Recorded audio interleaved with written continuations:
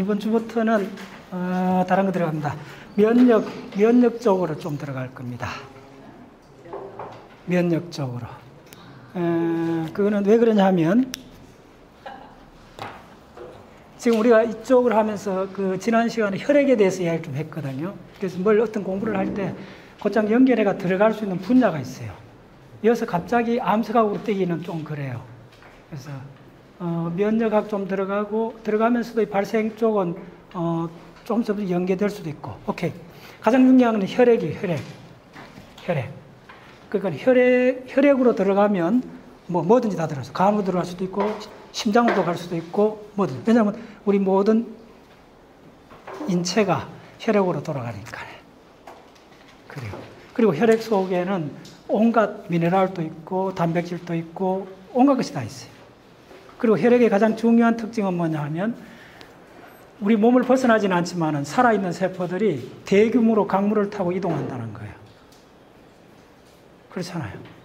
다른 모든, 그러니까 티슈란 말을 쓰는데 티슈는 우리 동물이나 동물의 조직들이요. 조직에 있는 세포들은 근무지 이탈하면 안 돼요. 간세포, 근육세포, brain세포. 예, 다 위치, 정위치를 지켜야 돼요. 근데 항상 떠돌아다니는 cell들이 있어요. 적혈구 같은 것들. 그 다음에 오늘 강의의 가장 중요한 림프, 림프구 같은 거. 자, 림프라는 개념이 오늘 여러분들 쭉, 자, 다 끝나고 나서 여러분들이 오늘 4시간 강의는 끝나고 나서 딱 하나에 대한 정확한 대답이 머릿속에 딱 떠오르면 어, 정보가 잘 전달된 거예요. 뭐냐 하면 자, 우리 저 이렇게 초등학교부터 보면 내 친구 옆에 있는 친구는 어, 한반도에 상륙한 감기나 다 걸리는 사람이 있는가 하면 평소에도 감기 알았다는 이야기 안 하는 사람 있잖아요. 명확하잖아요. 주변에 보세요. 웬만히 날씨가 좀 바뀌고 뭐 저 이렇게 되면 감기 걸리는 사람이 있는데 감기 치독하게 또 안 걸리는 사람들도 있어요. 자, 감기는 왜 걸릴까? 사람마다 걸리는 정도 왜 이렇게 다를까? 혹은 또 비슷한 질문으로서 어떤 사람은 동일한 약을 먹었는데 어떤 사람 빨리 낫는데 어떤 사람 늦게 낫는 경우. 요거에 대한 우리 일상생활에 만나는 요 이야기에 대한 것들이 어 그게 간단찮다는 걸 알게 될 때 그 질문이 예. 그 흔히 그래서 뭐 그러잖아요. 천문학자는 어떤 사람이냐 하면 초등학생이 묻는 별에 관한 질문을 대답 못하는 사람. 그게 천문학자래요. 그게 무슨 말인지 알겠어요? 그 섣불리 이야기했다가는 그러니까 제가 치매를 강의하면서 그걸 느꼈는데 치매 3년 전에 brain 치매를 단백질로 들어가서 보여드렸잖아요. 한 20시간 강의하고 나니까 그때서야 치매가 뭔지 조금 느껴지는 거예요. 그것도 전부 다 한 번도 내가 접하지 않았던 그런 용어를 갖고 전부 다 단백질 가는 이야기요. 자, 됐습니다. 오케이. 또 있고. 어, 그래서 끝나고 나면 왜 어떤 사람은 감기를 잘 걸리고 어떤 사람은 안 걸리는가, 드물게 걸리는가. 그 이야기하고, 어, 좀더 심각하게 들어가면, 어, 하, 그렇죠. 어제 내가 자료를 잠깐 찾아봤어요. 강의할 때. 그 무슨 자료냐 했더니, 어, 2억을, 2억 명의 인구가 죽은 사건이 있어요. 2억의 인구가 죽은 사건이 있어요. 혹은 5억의 인구가 죽은 사건이 있어요. 그러면 공부해야 돼. 스페인 독감 이야기 하려고 그러잖아요. 스페인 독감은 거에 비하면 명함도 못 내밉니다. 스페인 독감, 그, 저, 좋은 이야기 있어요. 스페인 독감에 대해서 내가 2년 전에 이제 강의를 했을 때 분명히 이야기했어요. 스페인 독감에 일부 자료들이 왔다 갔다 하지만은 꽤 많이 찾아보면, 어, 맥시멈 5천만 명이 죽었다고 나와요. 그래서 우리 사이트에, 그 한, 나중에 꼭 누가 찾아보세요. 우리 그런 걸 찾아 다시 올려주면 돼. 저또 이런 중요한 얘기 할 때 못 알아듣지, 저렇게 가면서. 자, 무슨 얘기냐면, 그때 우리 뭐라 했냐면, 5천만 명 죽었다고 내가 강의를 했더니, 청중 중에, 그걸 사이트에 올려놨어요. 그랬더니 청중 중에 댓글로, 아, 그거 박사님 공 하나 더 붙인 거 잘못한 거 아닙니까? 라고 했어. 500만 명 실수해갖고 5천만 명 적은 거 아니냐 했어요. 근데 다음 찾아봤어요. 꽤 많은 자료가 5천만 명으로 나와 있어요. 2천만 명에서 5천만 명 정도. 예, 1910년 무렵이죠. 1918년인가 그랬죠? 예, 1차 대전 그 무렵이잖아요. 예, 5천만 명이 죽었어요. 5천만 명이 죽었어요. 예, 다시 한번 이야기할게요. 5천만 명이 죽었어요. 예, 5천만 명. 그 조금 더 올라가면 5억이 죽은 사건이 있어요. 이건 좀 긴 역사적인 전체로 봤을 때. 그게 바로 뭐냐면 천년두요. 지구상에서 가장 독했던 전염병이 천년두요. 마마. 천연두에 대한 많은 데이터들이 있는데 천연두는 어, 역사학자들이 쭉 추적해 봤을 때 total maximum 이것도 maximum 몇 명 정도 우리 호모사피엔스 죽었다 보느냐 하면 천연두로 maximum 5억 정도 죽었다 보는 거예요. 그거를 손에 잡힐 수도 이야기해 준 게 1967년도 또 200만 명이 죽었어요. 천연두로. 1967년도에. 이건 이야기 달라져요. 뭐 17세기, 뭐 14세기 이럴 때야 뭐, 아, 인류가 뭐 의학이 그때는 이렇게, 그러니까 뭐 수백 명 죽는 거 그럴 수 있지. 이렇게 생각하는데 1967년도에 200만 명이 천년주에 죽었다는 데이터는 심각한 거예요. 근데 더 놀라운 거는 지금 현재 2020년도에 우리 호모사피엔스 중에 천년도로 죽는 사람 몇 명 있을까요? 단 한 명도 없습니다. 그래서 공부를 해야 돼요. 왜 이랬을까? 역사적으로 전체 죽은 인구는 2억, 2억을 추정해요. 여러분들 천년두는 역사에서 자주 나오겠다 말아요. 저, 제가 남미에 가면서 먼저 공부하는 중에 그런 중 하는데, 남미의 잉카 제국이 1500년도, 1400에서 1500년도, 대략 연도들을 알아놔야 돼요. 그때 당시 인구 얼마냐면, 잉카 제국이 최고 번성할 때 그때였는데, 인구가 맥시멈 2천만 명 정도 와요. 2천만 명. 잉카 제국이. 그 2천만 명의 인구가 그 피사로가 들어오잖아요. 들어오면서 거의 몇십 년 만에 인구가 90% 개멸당해요. 2천만 명을 다 일일이 죽인다, 그렇게 살해한다는 건 거의 불가능에 가까워요. 재래식 무기를 갖고는. 그러니까 말 전체가 쑥밭이 되어버리는 거예요. 천년도. 그리고 또 가까이는 홍타이치가 남한 사생에 와서 인조 항복 받고 오래 안 있고 다시 퇴각을 해요. 왜 그런 줄 알아요? 천년도 때문에 그런 거예요. 빨리 돌아와야 돼요. 천년도 걸리면 그 다음에 홍타이치가 밑에 중국사를 공부해보면 청나라사를 공부해보면 재밌는 게 그쪽에 황제들은 그 돌림자들이 있어요. 그게 만주족들, 우리나라도 학렬 따지면서 저 아버지쯤 되면 뭐 이름에 쫙 돌림자 있잖아요. 그처럼 이래갖고 홍엽 뭐 이렇게 쭉 있어요. 돌림자 청나라사에 보면. 근데 그 왕세자가 될 사람, 다음 황제가 될 사람의 첫 번째 조건이 뭔지 알아요? 그게 나와요. 그 세자들 그 후보자들이 2, 30명이 돼요. 2, 3명 중에 누구를 다음 황제로 삼을 건가? 이거는 한 제국의 운명을 그는 거예요. 그때 첫 번째 조건이 뭐냐면 그, 그 후보군들 중에서 다 맹렬한 후보들이요. 후보 중에서 천년두를 겪었느냐, 안 겪었느냐, 이걸, 이걸 먼저 판가름 해요. 겪은 사람 먼저 뽑아요.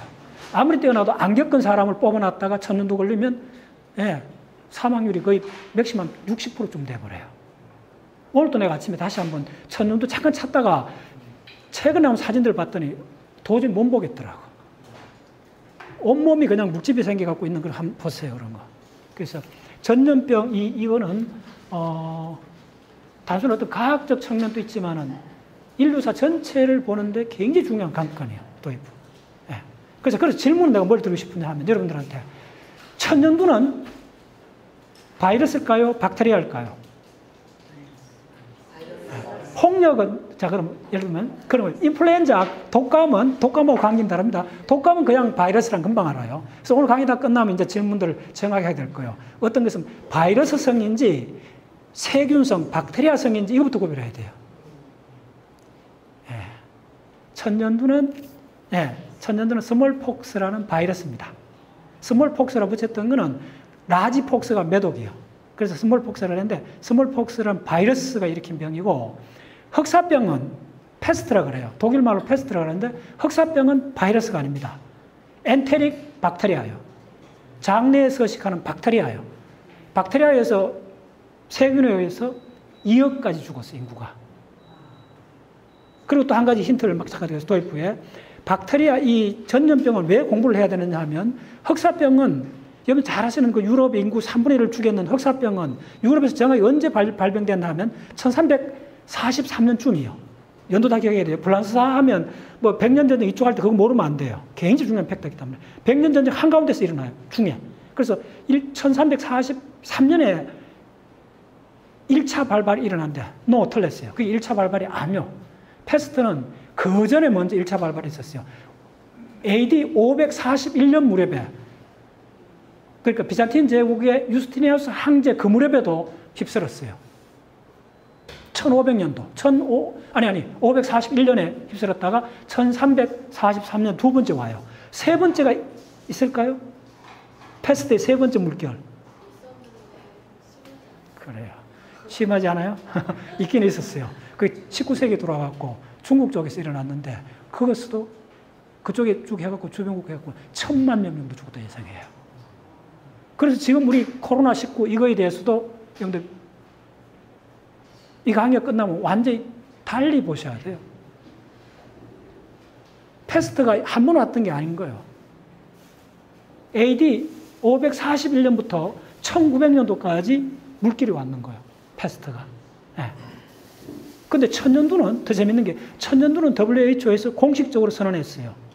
지구상에서 지금 발병하는 나라 하나 없어요. 공식적 종료로 선언한 그 막강한 2억까지 주겠던 그리고 예, 천년두는 어, 그렇죠. 우리나라 역사에서도 굉장히 많이 등장합니다. 천년두는 예, 그래요. 도입부 그 정도로 하고 자 지금부터 요서 이제 들어가겠습니다. 이쪽에 적겠습니다. 지금부터 도입부. 그래서 왜 우리가 바이러스냐 박테리아냐 그 다음에 소위 말해서 전염병에 대한 이뮤니티 이 전체 개념이 이걸 사실 제가 한 10년 전부터 공부를 할까 하다가 몇 년 전에 2년 작년 동도 우리 아는 분이 우리 저 이 강의 듣는 분 중에 한 분이 메일을 보냈어요. 종종 메일을 보내시는데 박사님 꼭 면역학에 대해서 강의를 부탁드립니다. 그때도 하고 싶었는데 못하는 이유가 뭐냐면 그전에 나도 한 번도 안 해봤으니까요. 적어도 준비하려면 강의 주려면 맨날 같으면 한 3년 전 같으면 제가 6개월 전에도 대략 준비를 했어야 강의를 하는데 이번에는 아, 진짜 치우기 그런데 아, 예, 이번에는 상황이 그래서 어쨌든 들어갔어요. 들어갔는데 들어갔더니 역시 와 이거는 한 입에 깨물 수 있는 그게 아니구나. 아니구나. 예. 한 입에 삼킬 수 없는 겁니다. 그래서 어, 저하고 같이 이제 한 스텝 한 스텝 올라가 봐야 돼요. 도대체 소위 말해서 전염병이라는 게 뭔가? 근데 전염병이라는 게 뭔가는 순서적으로 바른 질문이 아니에요. 조금 들어가 봤더니 이, 이에 반드시 스텝에 맞는 순서에 맞는 질문들이 있어야 된다는 거예요. 네. 그걸, 그, 그, 여러분들 우리가 그게 그런 개념들을 얼마나 헷갈리게 하는지 내가 몇 가지 물어볼게요. 혈액형이라는 게, 혈액형이라는 게 도대체 뭡니까? 이렇게 물으면. 솔직히 말씀드리면 저도 이 강의 준비하기 전에도 알기는 다 알지. 혈액형 A, B, O형이 있는데 그거 저저저 우리나라 중고등학생부터 다 하는 이야기인데 자 그럼 물어볼게요. 혈액형이 도대체 뭐냐고 물어보면 이거는 미리 말씀드린 전문 의료계에 있는 사람 아니고는 정확히 대답하기 어려울 거예요. 웬만하게 생물학에 관심 있는 사람 아니고는 이게 간단한 질문인데 억구해 할수 있는 질문이에요. 혈액형이 도대체 우리가 A형이라 했을 때 그건 도대체 뭘 말하는 거냐 이거예요. O형이라는 게 도대체 뭘 말하는 거예요. 자, 미리 말씀드릴게요. 이거 보세요. 그게 안티바디인지 안티겐인지 이거 구별할 수 있는 사람. 간단한 질문 아니요. 나도 충격받았어요. 아, 이거 나도 웬만 공부했는데 이거 A형이 무슨 말이야? 자, 그거 antigen입니다.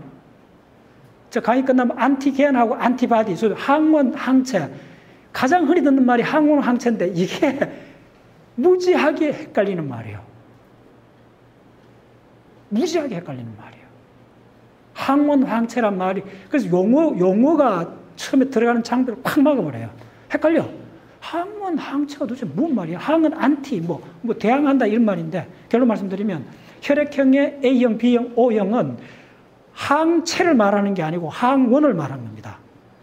그러면 그 항, A형 같으면 A형, 항, A형이라는 항원이고 항체는 B 타입 항체를 가져요. B형은 B라는 항원을 갖는데 항체는 A 타입이에요. 그 다음 O형은, O형은 항원이 없어요. 항원이 없는데 항체가 A형 항체, B형 항체를 가져요. 헷갈리죠? AB형은, AB형은 항원은 있는데 A형 항원, B형 항원이 합쳐 있는데 항체가 없어요. 헷갈리죠? 네. 저 모른다 이 말이에요. 저도 그래서 솔직히 고백하니까 바로 3일 전까지 몰랐어요. 몰랐어요. 어, 그 마이 저 어떤 박문호 박사 몰랐어요.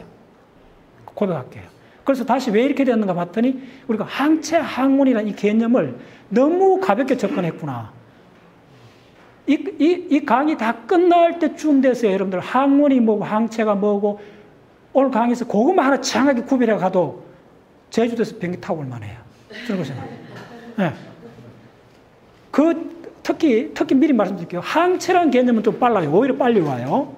빨리 오는데 항원이라는 개념은 공부가 끝날 때까지 물고 늘어져요. 헷갈려요. 그래서 제가 보통 어떤 책에서는 꽤 그쪽 하는 사람한테 질문을 항원이 뭐냐고 definition 적어내는 걸 보고 교수가 60점을 줘버려요. 이거 아니라고.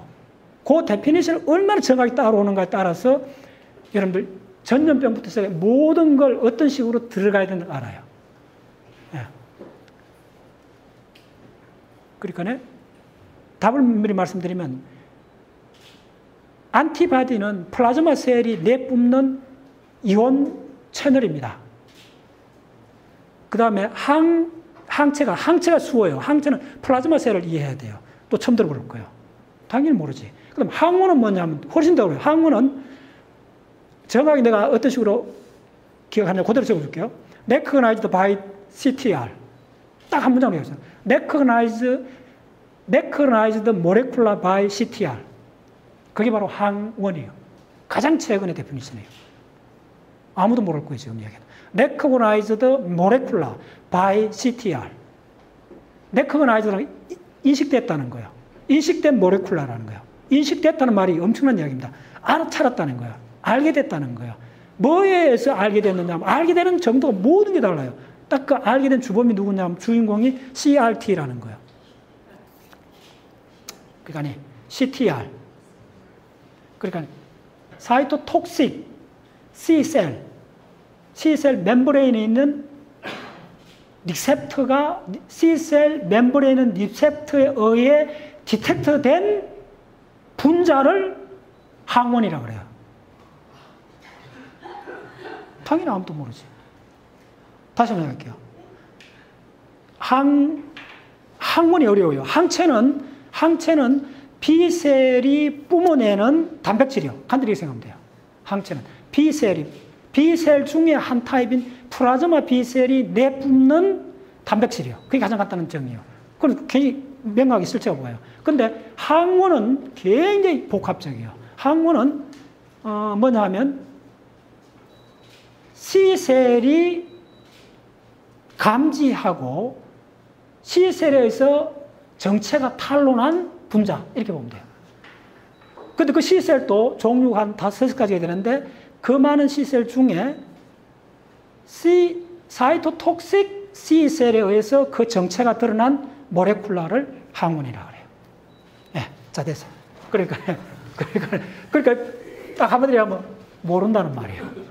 우리가 일반인들이 잘 모른다는 거예요. 그러니까 전염병 뭐 코로나 19 이야기도 의사들이나 또그 의사들 중에 면역학 담당하는 그 바이러스 담당하는 사람들끼리만 하는 이야기요. 그 우리는 모르는 거예요. 자, 그 세계로 들어가 봅시다. 자, 그 세계로 들어가는데 그 문이 딱 하나의 문이 있어요. 그 문이 뭐냐 하면 그 모든 것들이 혈액하고 관계 있다는 거예요. 피하고 관계 있고 피로 들어가는 거예요. 피로 들어가는 거예요. 자, 이거, 이거 지우기 참 그런데, 아, 이거. 설명할 게 너무 많은데 지금. 자, 피로 들어가고 피로서 끝나면 좀 간단한데 그 피로서 끝나는 게 아니고 림프라는 시스템하고 링크되어 있다는 거예요. 그래서 림프. 또 림프는 뭐냐 하면 우리가 또 그동안 가장 안 봤던 생물학에서 가장 그냥 대충 하고 넘어갔던 분야가 림프에 관한 거고 림프 림프에 관한 어, spleen하고 lymph node하고 그 다음에 온갖 그 창자막에 있는 림프절 이런 모든 것들이 관여되는 시스템을 다 이해를 하셔야 돼요. 오케이 됐어요. 자, 이 길은 어, 간단해요. 어, 내가 전체부터 먼저 적어드릴게요. 이, 이거 전체로 따라오는 길이 있어요. 적었더니 어, 먼저 요거다 간단히 적고 다시 정설을 해줄게요. 그럼 오늘 4시간을 따라오는 톨게이트 티켓이 바로 이겁니다. 뭐냐면, 아, 꼭, 예, 고, 고, 고 좀만 주세요. 고, 고, 고까지만. 고까지만. 예. 고, 저, 다, 예, 예, 예. 좋아요. 예. 예. 그래요. 고까지만. 요거 14개, 요 14개는 다시, 다시 적어야 될 정도로 중요한 거예요. 그 14개부터, 오케이. 자, 예, 좋아요. 예. 예, 고맙습니다. 됐어요? 예. 자, 빨리 하겠습니다. 자, 요거는 내가 다시 적어 줄 테니까 요대로 적었어요. 여러분들. 어, 먼저, anti, antigen을 AG라 적어야 돼요. 약자로 적습니다. 지금 전부 약자로 적어야 돼요. 너무 한 시간 없어요. antigen. antigen은, 그러니까, gen은, generation은 그러면, 그러니까, 문제를 이렇게 우리 흔히 말하면 뭐라 그러냐면 이물질이라 그러잖아요. 우리 인체에 생명체, 다세포 동물한테 들어오는 모든 것. 예. 심지어 음식물도 이물질이 될 수 있어요. 여러분들 먹다가 두드러기 일어나는 거 많죠? 예. 그 알레르기도 들어가고. 그러니까 이 면역학이라는 분야가 워낙 큽니다. 암, 암에 관한 항목도 일부 들어와 있고, 우리 피부에서 일어나는 모든 그 발진 현상도 다 들어가 있고, 뭐 천식, 그 다음에 또 그 여러 가지 질환들이 있어요. rec, 먼저 일어나는 게 recognition입니다. antigen의 recognition이 이게 이 면역학에서 거의 뭐 한 7, 80% 차지하는 개념이요. antigen을 recognize 하면 그 다음에 뭐가 일어나냐 하면 lymphocyte lymphocyte의 activation이 일어나요. activation이 일어나요. 요수, 요수 따라오면 돼요. 이게 하이웨이입니다. 자, 먼저 적을 식별하면 anti, antigen을 적이라 생각하면 돼요. 그게 빨리져요. 창이라 생각해도 적이라 생각하면 돼요. 그러면 적의 실체를 빨려야 돼요. 뭐냐면 적하고 아군이 막 섞여 있는 게임이 면역학의 실체입니다. 그래서 먼저 antigen을, antigen을 recognize 하는 게 가장 핵심이에요. antigen을 recognize 딱 하면, 그 다음에 lymphocyte가 activation 일어나요. lymphocyte activation은 보통 때는 잘 안 일어나는데 언제 일어나냐면, 자, 우리 잘 알아요. 말 섰다 하죠. 임파선이 부었다. 말 섰다 이야기하잖아요. 이거 이렇게 하고, 이 가랭이에 뭐하고 이런 데 나잖아요. 그 말 섰다 했을 때 바로 lymphocyte, 요게 activation 일어나는 거예요. 그럼 뭐가 일어나냐 하면, 여기서 일어나면 딱 두 가지 형태가 일어나요. 첫 번째 뭐냐 하면, 음, memory, memory cell이 생겨요.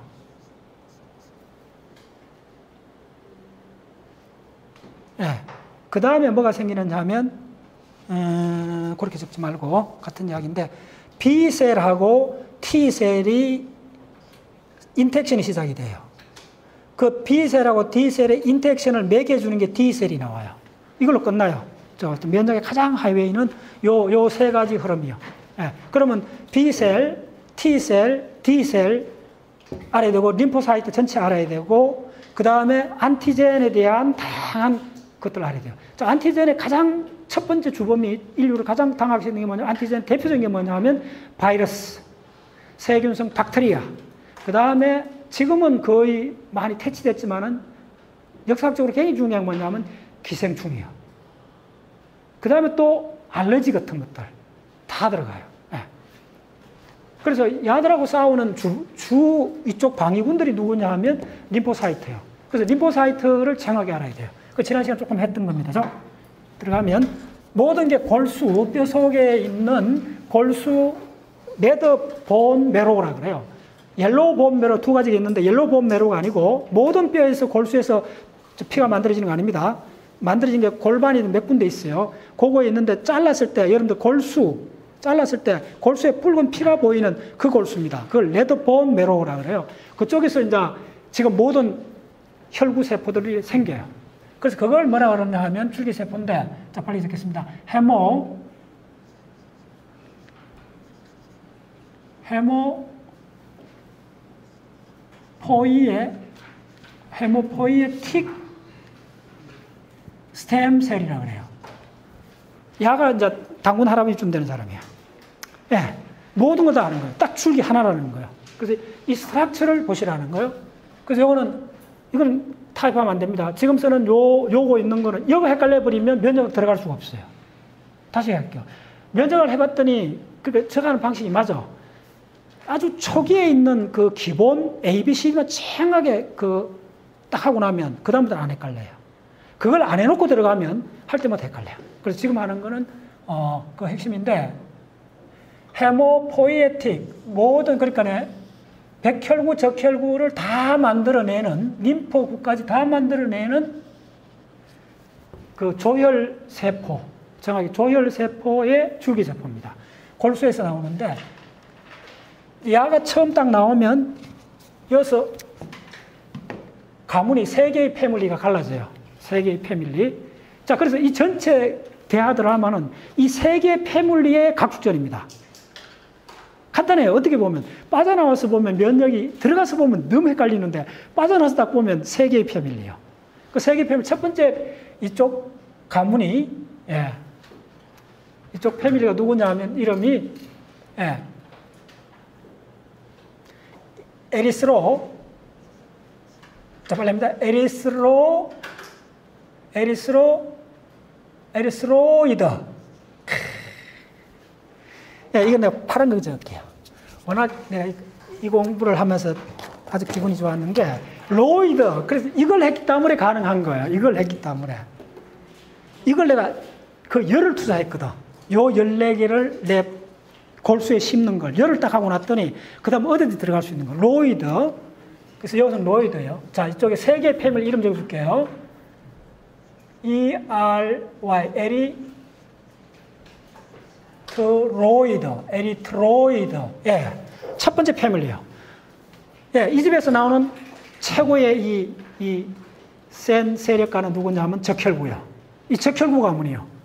예, 우리 인체 세포의 거의 3분의 1 해당되는 예, 적혈구 가문이요. 두 번째 가문이 무슨 가문이냐 하면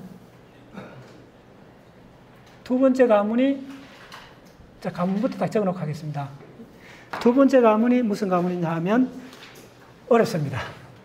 M, Y, E, L, O, I, D 가문이요. 미엘로이드 가문이요. 그래서 내가 적어 놓은 거예요. 어디 있죠? 요거 있잖아요. 네. 미엘로이드 가문이요. 세 번째 가문이, 세 번째 패밀리가 어디 있냐 하면, 세 번째 패밀리가 면역학의 주역인, 예, 네. 면역학의 주역인 이 패밀리요. 바로 림포이드 가문이요.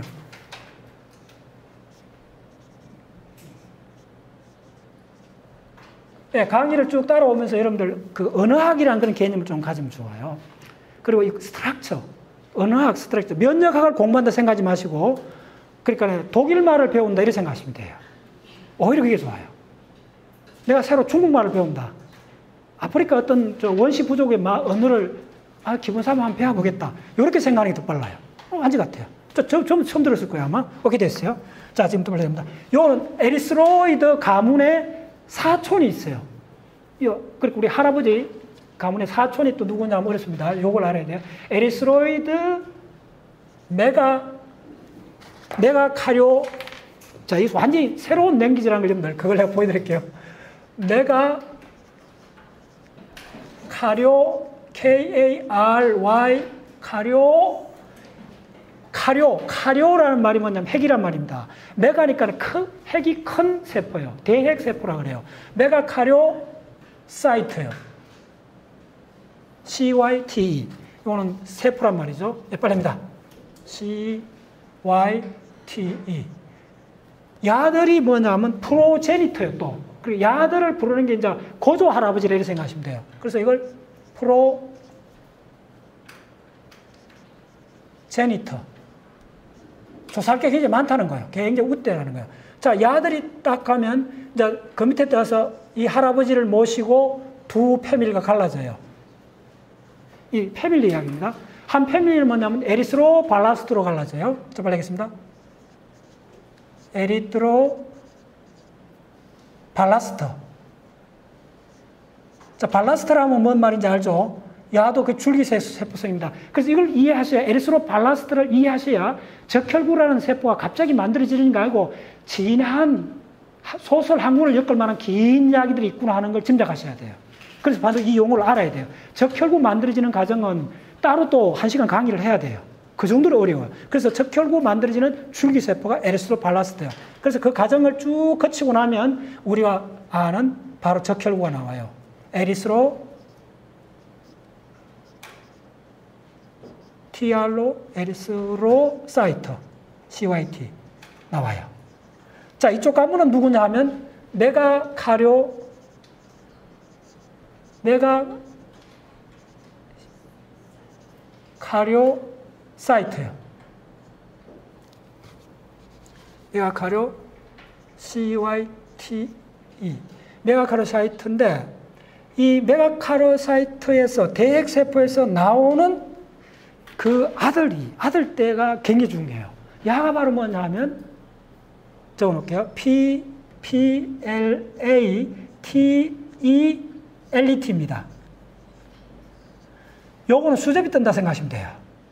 이 메가카로 이 대핵 세포가 굉장히 커요. 큰 세포. 야를 이, 이 세포에 세포질이 뚝뚝뚝뚝 떨어져 나와서 된 게 여러분들 아는 그 흔한 바로 예, 혈소판이요. 이게 바로 혈소판이에요. 이제 드디어 혈소판이 뭔지 이제 아는 거예요, 여러분들. 혈소판은 무제한적으로 핵이 없고 뚝뚝뚝뚝 떨어져 갖고 나오는 거예요. 근데 혈소판도 하나의 세포예요. 세포. 네, 됐어요. 자, 그 다음에 요 가문, myelo, myeloid 이 가문도 뭐냐, myeloid progenitor요. pro, genitor. myeloid progenitor에서 이 가문은 두 개의 subfamily로 나눠져요. 그래서 여러분들 공부를 하실 때 이 도표에 그 일주를 투자하시면 돼요. 그 다음에 이제, 그 다음에 면역하게 들어가면 안 헷갈려요. 자, 미엘로이드 프로제니토가 두 개의 프리코스로 갈라져요. 하나는 뭐냐 하면 그래눌로 GRAN 그래 NUL로 그래눌로 그래눌로 사이트요. CYT. 이걸 과립세포라 그래요. 과립세포. 동글동글한 예, 구슬 같은 세포요. 과립세포의 야는 뭐냐면 precursor라 그래요. 프리 C-U-R SOR. 커스란 말이 뭐냐면 이거 분자세포생물 자주 나와요. 그러니까 precursor를 쪼개면 뭐 여러 가지 변형돼요. 그 원야도 할아버지쯤 되는 거예요. precursor요. granulocyte precursor에서 삼형제가 나와요. 이 삼형제는 의사 선생님들 잘 아는 굉장히 유명한 거예요. 이 요거 삼형제 이름을 여러분 굉장히 친하게 지내야 돼요. 여섯 번째 본격적으로 첫 번째 누구냐 하면 에, 그래눌로 사이트 프리커스에서 나오는 장남이 이 가문의 가장 명갈락하는 장남이 누구냐 하면 조금 파랗게 적겠습니다. 중요하니까요. 어, 누구냐 하면 뉴트로 N-E-U-T-R-O 뉴트로필이요. P-H-I-L이요. 뉴트로필이요. 두 번째 아들이 누구냐 하면 에오시노필이요. 에오시노필이요. 세 번째 막내 아들이 누구냐 하면 바소필이요.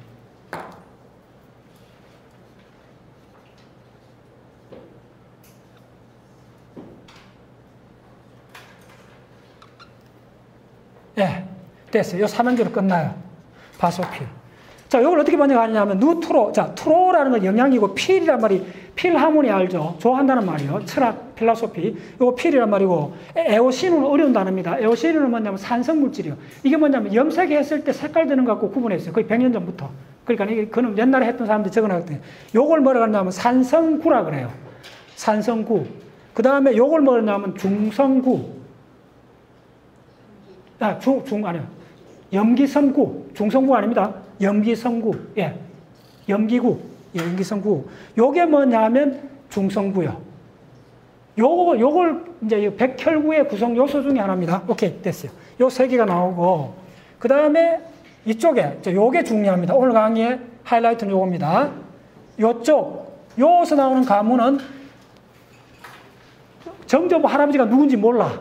지금 학교에서 이제 논란 중인데, 그래서 이걸 뭐냐면, 언론, 언론 프리커스예요.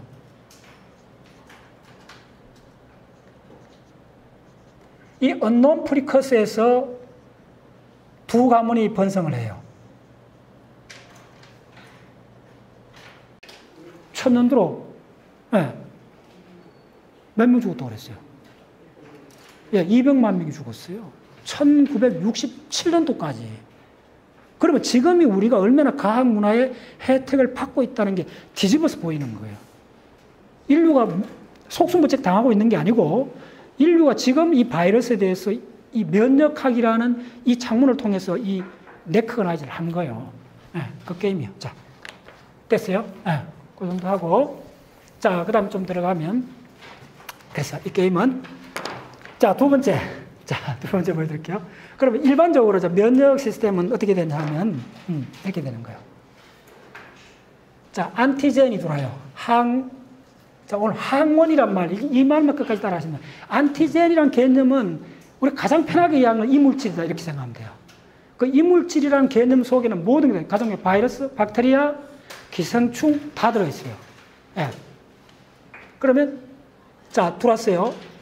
이물질이 들어왔어요. 우리 들어오면, 맨 처음에 방어선이 어디 구축되느냐 하면, 우리 포유동물의 맨 첫 번째 방어선이 뭐겠어요? 그게 바로 skin이에요, skin. 이제 피부가 이름 달리 보일 겁니다. 피부 굉장히 중요해요. skin이 1차 방어입니다. 가장 진짜 지금까지 잘 학대. 그래서 우리가 지금 조금 고대로 가면 지금이야말로 어, 오늘 전신 보면서 우리가 누가 젊은 사람 지나가는데 너무 막 피부가 좋은 거야. 그러니까 집사람 막 이렇게 이야기를 하는 거야. 그러니까 지금은 다 그렇다는 거야. 근데 시간을 돌려보세요. 안 그래요. 그래서 뭐냐 피부가 좋다는 이 말이 우리가 지금까지도 쓰는 사람이 우리 흔히 이제 사람이 아름답다고 할 때 가장 첫 번째가 뭐냐면 피부가 좋다는 말인데 그게 왜 왔느냐 덧뿌리 보면 피부가 사실은 이 바이러스, 병균, 기생충에 대한 가장 좋은 1차 방어막이에요. 네. 피부. 그 다음에 뭐냐 하면 무코스예요. 무코사. 점막입니다. 점막. 무코스는 점액이고 점막이에요, 점막. 그 구체적으로 입에 구, 입 부항 점막 생각합니다. 입안 생각하면 어렵게 생각해요. 입안 생각. 이거 굉장히 중요한 이야기입니다. 자, 이제 실려줄게요. 어, 입에, 입에 냄새 나는 사람들 있잖아요. 그 다음에 감기 잘 걸리면 되게 된다. 감기 잘 이런 사람들 물 많이 마시세요. 물 많이 마시라고 뭐 여러 가지 이야기를 하긴 하는데 뭐 자꾸 엉뚱한 소리를 하는 내가 봤을 때 그게 아니고 바이러스나 병용군에 대한 1차 막이 점막이고 점막이 건조하면 세균들이 들어와서 할 확률이 굉장히 높아요. 그걸 축축해야 돼요. 그 다음에, 그 다음에 뭐냐면 sweat입니다. 땀. 스페링 맞나? 스페링 좋다. sweat가 내가 지금 하다 보니 놀랐는데, sweat가 pH가 얼마인 줄 알아요? 땀이. 그러니까 생물학을 공부하시면 무조건 뭐냐면 pH 값이 뭔가를 따져보는 게 굉장히 중요해요. 최근 자료 봤더니 pH 5.5요. 와. 상당한 산성이요. 그래서 이 땀이, 자, 여러분들, 땀을 막 흘리고 나면, 자, 우리가 옛날에 뭐랬죠? 감기 걸리면 못했어. 그냥 삼겹살 딱 묻고 땀막 흘리고 나면, 김치국 팍 묻고, 된장국 쫙 묻고, 입을 딱 뒤집어 땀 흘리고 나면 까지 끝난다 그러잖아요. 부, 정, 부, 정답. 왜 그럴까요? 땀이 산성물질이에요. 요 구체적으로 말하면, 요 나오더라고. 요게 땀이 그 세균들, 세균의 그 세포벽이 굉장히 그 두꺼워요. 그걸 분해하는 효소가 나와요, 이쪽에. 굉장히 중요합니다. 그래서 땀을 흘리면 굉장히 좋아요. 저는 체질이 그래갖고, 막 등산하고 땀 막 흘리고 나면 몸이 좋아요. 또 사람들 체질 따르면 땀 많이 흘리면 좀 탈진하는 사람도 있는데, 사람마다 좀 다르긴 한데, 예. 그 여러 몸은 좋아. 땀이 많이 나면 좋아요. 예. 땀 많이 흘린다는 게 굉장히 병적으로 많이 흘리는 거 말고, 됐어요. 여기 1차 막입니다. 자, 그러면 1차 막, 안티젠이 1차 막을 뚫어요. 자, 1차 막, 요 개념 그대로 따라오시면 면역이 도대체 뭔가 좀 보이고요. 2차 막. 2차 막은 뭐냐 하면 우리 몸 속으로 들어오는 거예요. 예, 2차 막에 들어오면 누가 해, 해결해야 돼요. 자, 이제 그대로 한번 따라 보세요. 2차 막에는, 어, 요 때부터 등장하는 게 NK셀이요. natural killer가 동작해요. 그 다음에 macrophage. 지금부터 내가 이거 지금 뒤에 굉장히 복잡해지니까 약자로 내가 약자로 같이 표시합시다. 그게 빨라요. 요걸 MAC라고 약자로 적겠습니다. D는, D가 굉장히 뒤에 나오면 D셀이라고 적겠습니다. 여기서 macrophage. 매크로파지가 의외로 중요합니다. 매크로파지가 등장을 해요. 야들이 막아줘요. 매크로파지는 자, 매크로, 자, 그 다음 두 번째는 뭐냐면, 야들이 세균이나 이런 것들을 어떻게 처리하는가, 그것도 굉장히 중요해요. 야는 그냥 삼켜버려요. 매크로파지는. 세균을. 네. 그 다음에 NK셀은 뭐냐면, 찔러가 구멍을 내버려요.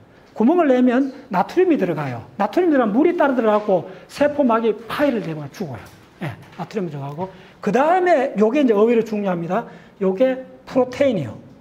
프로테인이 모든 거 아니고, 지금 요게 이 프로테인들이 일부 해주는데 이 프로테인을 특별히 부르는데 오늘 또 핵심 중에 하나입니다. 요거는 앞으로 공부를 엄청나게 많이 해야 되는 거예요.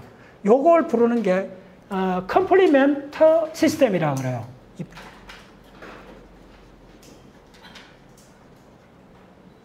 complement system이라 할 정도로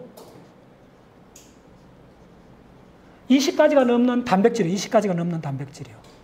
이 complement system이 면역학 전체에서 한 30% 정도 차지할 정도로 큰 시스템이 있어요.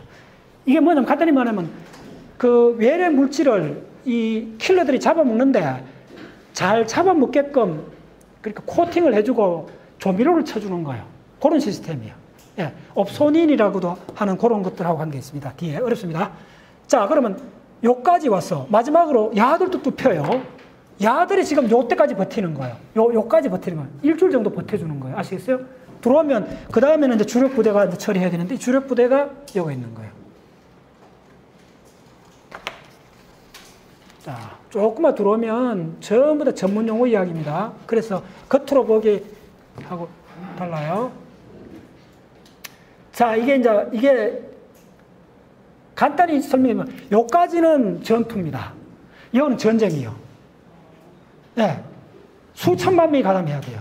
요까지는 쪼매는 전투요. 그냥 간단히 말씀드리면 일주일만 버텨주면 돼. 특공대들이 버텨주면 돼. 그럼 주력 부대들이 후방에 주력 부대들이 동원될 때까지 버텨달라는 거야. 이 주력 부대가 이제 이 바로 바이러스, 코레라균 이런 것들이요. 야들이 이제 들어오는 거예요. 야들이 이 시스템을 다 뚫고 이까지 들어오는 거예요. 자, 이게 이게 뚫히면 어떻게 되느냐 하면 5억, 3억 이렇게 죽는 거예요. 이게 뚫히면. 전 인류에 관한 문제. 아시겠어요? 바로 이 게임이에요. 천년도 이런 거예요. 이게 뚫혀버리면 한 국가가 붕괴돼 버리는 거예요. 전쟁이에요, 전쟁. 그래서 지금 역사상으로 붕괴된 시스템 몇 개 이야기했잖아요. 지금 사스, 코로나19는 지금, 지금 단계에서 잘 막아내고 있다 봐야 돼요. 전 인류가.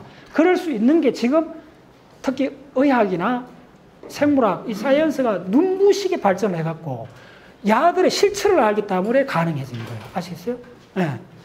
자, 요거, 요거 주력 부대가 누구냐 하면, 기가 막혀. 여거 주력 부대는, 예. 그 이름도 찬란한, 예. T셀이에요.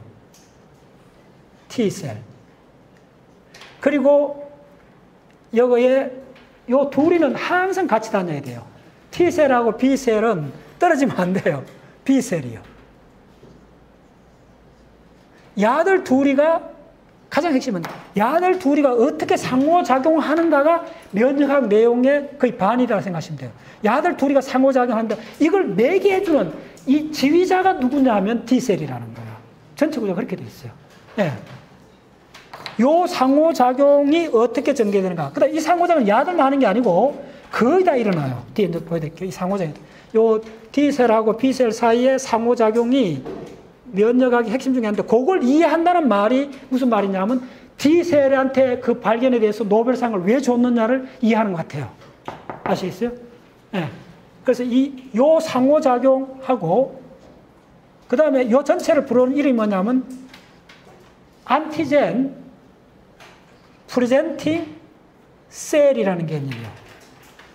항원 제시 셀이 출현한 거예요. 야들도 항원 제시 셀이요.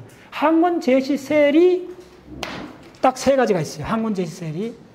요걸 이해하는 게 항원을 제시하는 셀이 세 가지가 있는데 요게 면역학의 하이라이트예요. 첫 번째 뭐냐 하면 B셀이 항원을 제시할 수 있어요. 그 다음에 매크로파지가 제시할 수 있어요. 그리고 세 번째, 바로 D셀이 항원을 제시해요. 바로 T셀이 그 여기서 가장 핵심은 T셀이에요. 내가 도표를 그려줄게요. T셀이 항울제에서 이제 이 전체 게임이 이제 되는 거예요. 요, 요 진짜 깔끔한데 요거로, 요거가 사실은 면역, 요걸 면역 시스템이라 그래요. 그래서 요걸 또, 어, 그동안 면역을 하는 사람들이 요걸 분류를 잘 하는데 요걸, 요 단계를 external, 요 단계를 internal, 내부에 들어온 거예요. internal, external에 뭘 하냐면 요, 요까지를 요까지를 뭐라 부르느냐 하면 요까지를 부르는 면역학 이름이 뭐냐 하면 어, innate라 그래요. innate immune이라 그래요.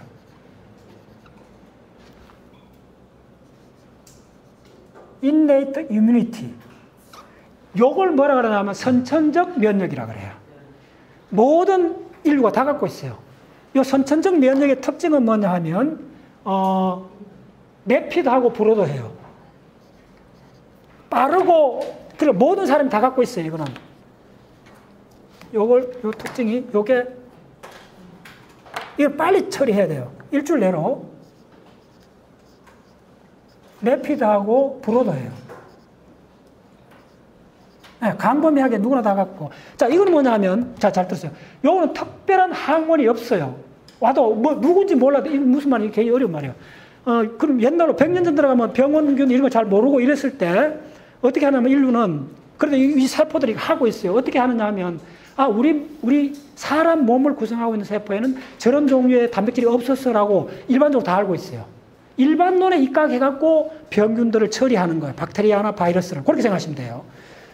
근데 코로나19, 사스, 뭐 메르스 이런 종류는 특별한 박테리아고 바이러스잖아요. 예를 들면 특별한 그거에 대해서는 특별한 뭘 해야 돼. 근데 인류가 붕괴된 거는 일반적인 뭐, 저, 뭐야, 뭐, 저, 뭐, 기생충이나 뭐 이런 것 때문에 망해진 게 아니요. 2억 명, 패스트 2억 명 죽었고, 천연두에 5억까지 죽었던 이유는 뭐냐면, 가들이 개별 스페시픽한 바이러스거나 박테리아였다는 거예요. 수천 종류의 박테리아, 수많은 바이러스 중에 바로 가들이라는 거예요. 그 하나라는 거예요. 아시겠어요? 그래서 그걸 뭐라 그러냐 면 그걸 면역학에서 부르는 이름이 가들한테 뚫혔을 때는 속수무책으로 수천만 명이 죽어나가는 거예요.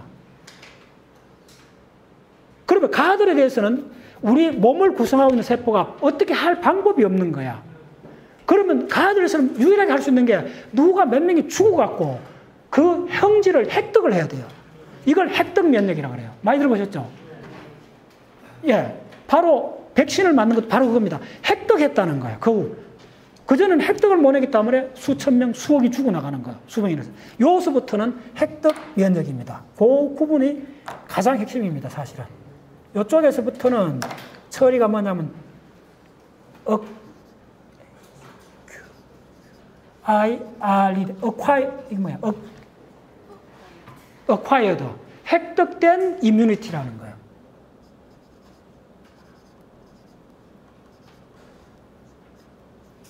자, 요걸 더 명확하게 부르는 게 뭐냐면 항원 그러니까 antibody specific activation이라 그래요. 면역학을 딱 한마디로 표현하는 문장 중에 하나가 아, antigen specific activation이라는 거예요. 그걸 우리가 예방주사 맞았다 그러는 거예요. 아시겠어요? 그걸 백신이라 그러고 그걸 면역을 얻었다 그러는 거예요. 그걸 요즘 말하면 아, 코로나19에 대한 항체를 우리 인류가 찾아냈다. 이렇게 얘기하는 거예요. 그 약품을 만들었다는 거예요. 그걸 부르는 이름이 acquired immunity고, 그걸 다른 말로 학술적으로 더, 요 말이 요 말을 내가 거의 하루 종일 되새겼어요. 그랬더니 보여. 그게 뭐냐면, antigen, antibody가 아닙니다. 그래서 이 전체 antibody하고 antigen을 헷갈리면 못 들어가요.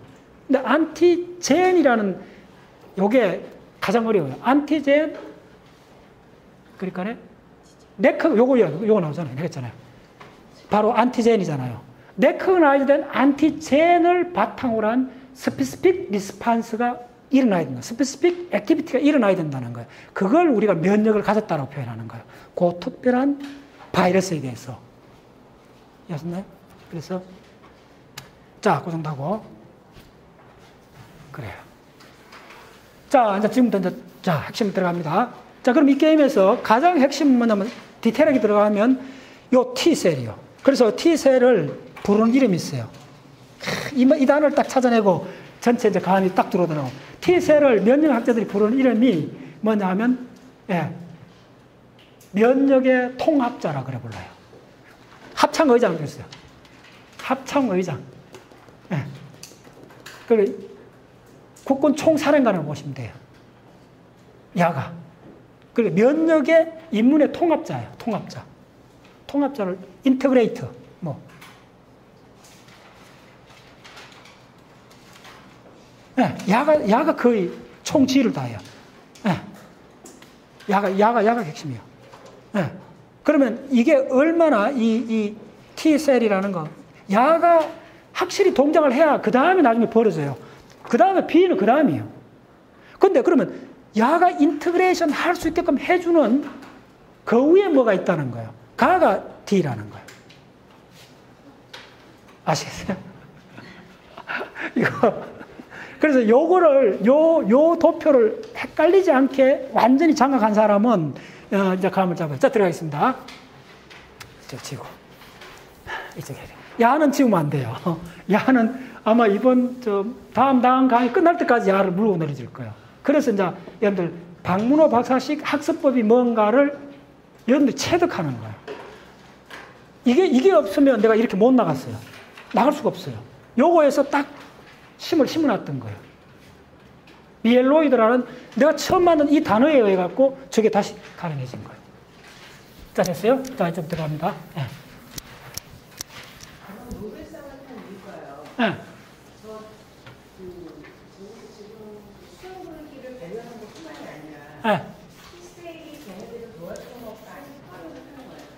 그걸 밝혀야 돼요. 아니야, 그거보다 더 묘한 게 있어요. 뭐냐면, 이걸 물론 이제 발견을 했고, 이걸 중요성을 알았고, 요, 요, 저, 노벨상 수상 그 이유 중에 하나가 뭐냐 하면, 그 나와요. 이, 이 연구했던 사람이, 그러니까 natural immune하고, acquired immune, 그러니까 선천적 면역하고 후천적 면역 사이에 관계를 확립했다. 요게 면역학의 부룩수를 뚫어대갖고 준 거예요. 그 매개한 것이 바로 요, 요 cell이에요. 그 큰 이야기요. 그전에는 요거 선천적으로 있는 면역 시스템하고 이걸 독립적으로 연계 관계를 몰랐는데 바로 D셀을 통해 갖고 이 연계가 확실히 드러나 버린 거예요. 그래서 이제 이게 면역학이라는 학문이 굉장히 깊어지고 넓어진 거예요. 예. 자, 요거 들어가기 전에 먼저 D cell 들어가기 전에 그 면역학 전체를 볼 수 있는 몇 가지만 그 history 먼저 체크해 드릴게요. 면역학 맨 처음에 이제 중요한 거는 뭐냐 하면 음, 이거요. 음. 어, 요거는 용어도 일어났습니다. 어,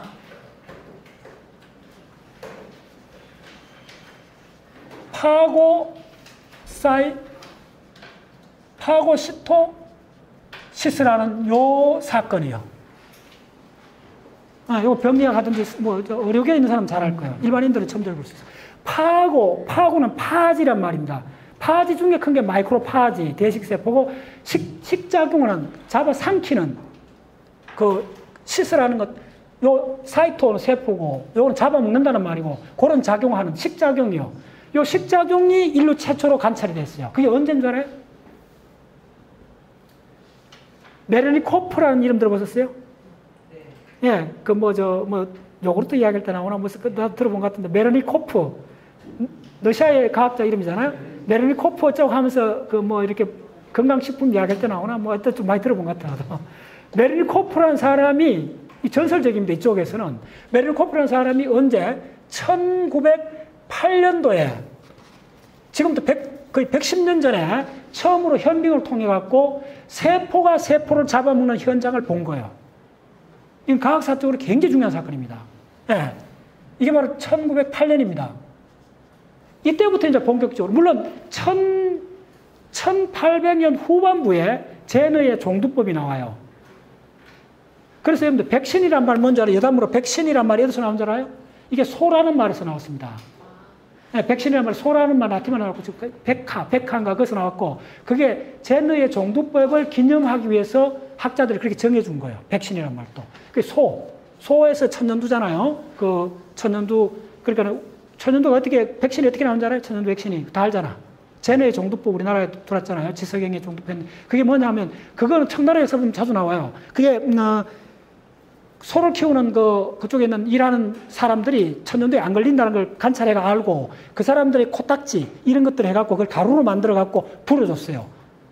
그래갖고, 그걸, 그 가루를 흡입한 사람들이 그 천연두에 안 걸리는 걸 확률적으로 보면서, 제너란 사람이 바로 그 천연두에 걸렸던 사람의 고름을 빼내갖고, 자기, 저, 저 아는 사람한테 주입을 해갖고, 천연두를 딱 낳는 걸 보고, 인류가 그 전에 5억, 5억 이라는 인구가 죽었는 걸 그 한 관찰에서 혁명을 일으킨 거예요.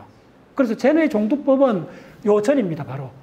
그때까지만 해도 근대 과학이라 보기는 조금 이쪽에서는. 근데 요거는 확실히 메린 코프가 처음으로 식작용, 식작용이라는 게 이 드디어 면역 계를 처음 보는 관찰이었어요. 그게 바로 대식세포입니다. 간단히 말씀드리면. 두 번째 사건이 언제 일어나느냐 하면, 두 번째 사건이, 요거 좀 어렵습니다. 인미운,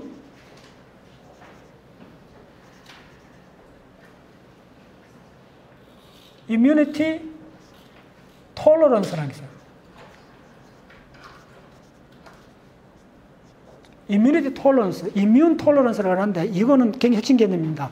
자, 이 모든 면역학이라는 거는 나와 남을 구별하는 거고, 자, 우리 몸, 세, 몸 안에 있는 어떤 세포들이 이런 세포들이 이게 세포들, 야들이 다른 세포를 잡아먹는 거예요. 죽이는 거예요. 잡아먹더니 죽이는 사건이에요. 외래 물질을. 외래 물질도 잘 들었어요. 세포이거나 박테리아, 박테리아성 세포이거나 바이러스예요.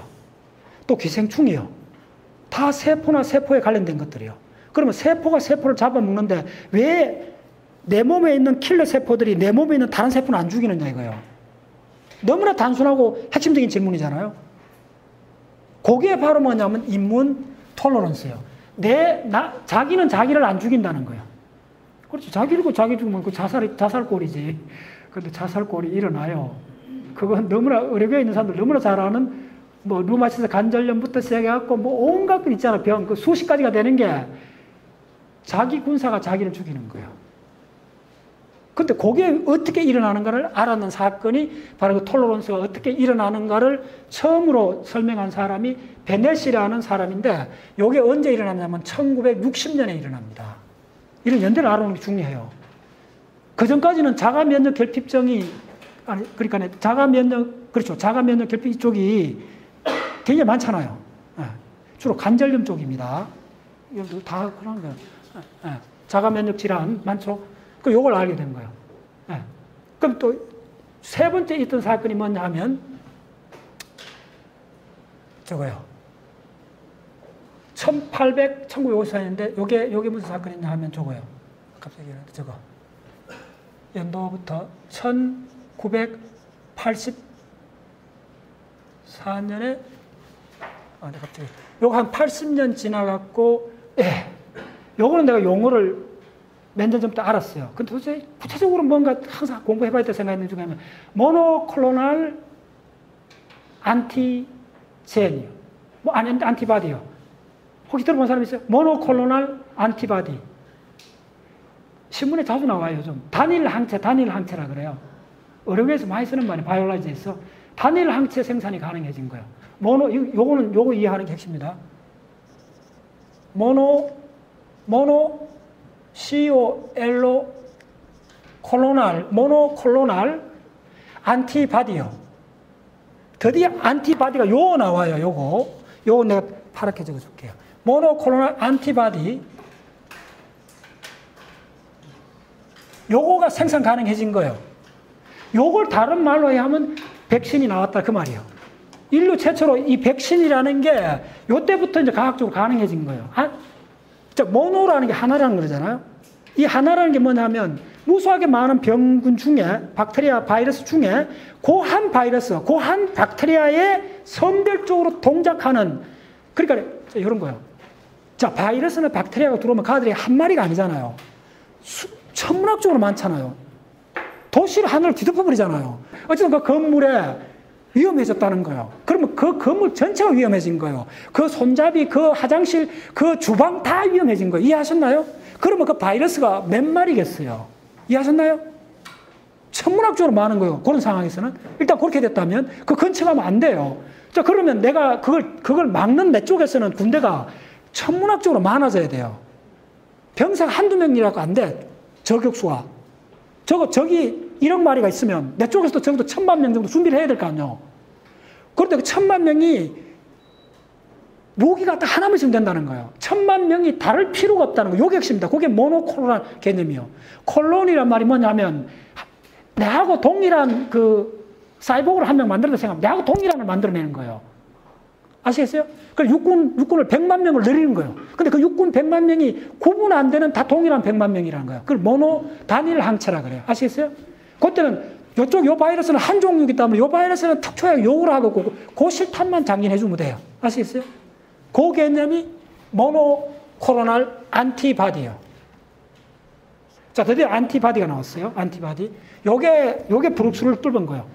1894년. 자, 그 다음에 언제 일어났냐면 1996년도에 또 한 브룩스를 뚫어요.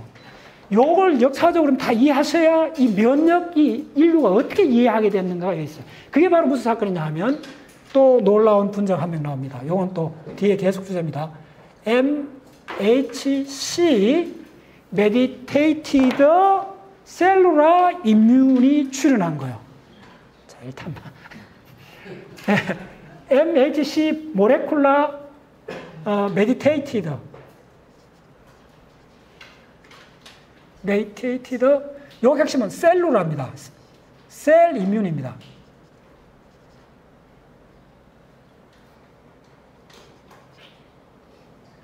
셀 이뮤니티가 어, 요걸 간단히 셀룰라 이뮤니티라고 그래요. 세포성 면역이라고 그래요. 그러면 세포성 면역에 반대되는 개념이 뭐냐면 어 그게 그 갑자기 뭐야 저거 이름이. 그래 내가 이거 지금 공부한 지가 일주일 그렇죠. 와 우리 선생님 잘 humoral 우리 선생님 humoral immunity humoral immunity. 요때 내가 저서 humoral이란 말을 왜 쓰는가 봤더니 요거는 humoral이란 말이 액체란 말입니다. 라틴어입니다. humoral 액체성 면역인데 그 말은 혈장을 통해서 혈장만 같으면 blood 뭐 피라고 쓸 건데 왜 피라고 안 쓰느냐 했더니 요거는 피하고 혈류하고 림프의 합계를 부르는 이름입니다. 그래서 뭐라 그랬어요? 거기에 humoral 그렇게 humoral 요게 반대되는 개념이 humoral이란 개념입니다. humoral humoral immunity요. 요 두 개입니다. cellular immunity, humoral immunity 기억하시면 돼요. 그럼 결론, 요 cellular immunity의 대표 주자가 누구냐 하면 바로 요게 TC입니다. 그 다음에 humor, humoral immunity의 대표 선수가 누구냐 하면 B셀입니다. 자, 이제 막 헷갈리기 시작해요. 다시 돌아와요. 다시. 그래서 내가 나는 이제 안 헷갈려. 안 헷갈릴 이유가 이거를 완전히 일출 투자를 했어요. 요거 암기에. 그러니까 안 헷갈려. 무조건 이로 돌아오면 돼요. 뭐 어쨌든 어디 있어? 요 TC 같은 요 어쨌든 요수 나온 거네. 아, B 같은 무조건 요수 나온 거네. 이야 이 패밀리 대단하네. 이렇게 되는 거예요.